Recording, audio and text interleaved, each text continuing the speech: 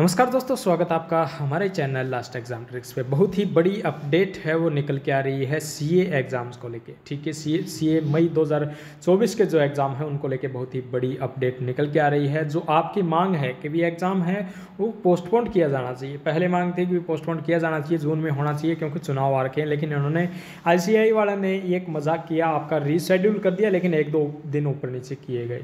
ठीक है? तो अब इसको लेके मीडिया में भी ये कवरेज है, वो आई है, ठीक है? क्या मामला सुप्रीम कोर्ट में भी जा सकता है? क्योंकि मौलिक अधिकारों का हनन यहाँ पे हो रहा है। क्योंकि देखिए, चार लाख स्टूडेंट हैं सी में, फ़िलहाल की अगर हम बात करें तो कोई भी सिंगल स्टूडेंट भी वोटिंग नहीं कर पाएगा। जिस हिसाब से इन्होंने जो शेड्यूल यहाँ पे जारी किया है तो अभी जो मीडिया में अपडेट आई है, वो मैं आपको दिखा देता हूँ, देखिए।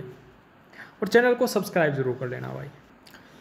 तो यहाँ पे मैं आपको दिखा देता हूँ इंडिया डॉट कॉम में ये खबर है, वो आज का एक आर्टिकल आया है, जिसमें आप यहाँ पे देख सकते हो 21 मार्च 2024 सात बत्तीस, आज सुबह ही ये आर्टिकल है, वो जारी किया गया है इंडिया डॉट कॉम के द्वारा। इसमें इन्होंने क्या बोला है?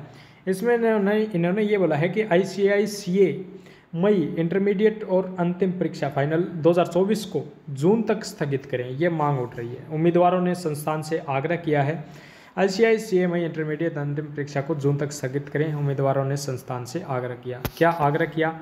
और क्या स्टूडेंट विरोध कर रहे हैं? क्या उनका कहना है? वो चीज़ हम यहाँ पे देखने वाले हैं। वो मैं आपको दिखा देता हूँ। देखिए।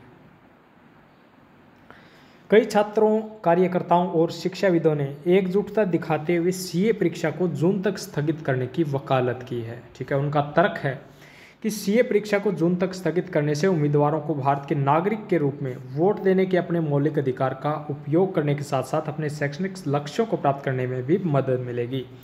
ठीक है, संस्थान द्वारा उन्नीस मार्च को जारी एक नोटिस के अनुसार ग्रुप फेस्ट के सीए ये जो तारीखें बताई गई हैं, इसमें मांग ये की गई है कि भी एक स्टूडेंट का ये अधिकार है कि वो अपना मतलब वोट है, वो दे, मौलिक अधिकार है उसका एक नागरिक के रूप में। तो इसका यहाँ पे हनन हो रहा है तो उसको लेके बताया है कि भाई स्टूडेंट इसको लेके तनाव में है और आपको इस चीज़ पे ध्यान देना चाहिए और एग्ज़ाम है वो जून तक पोस्टपोन किया जाना चाहिए। देखते हैं बाकी क्या होता है, बाकी अपने चैनल को सब्सक्राइब ज़रूर कर लें।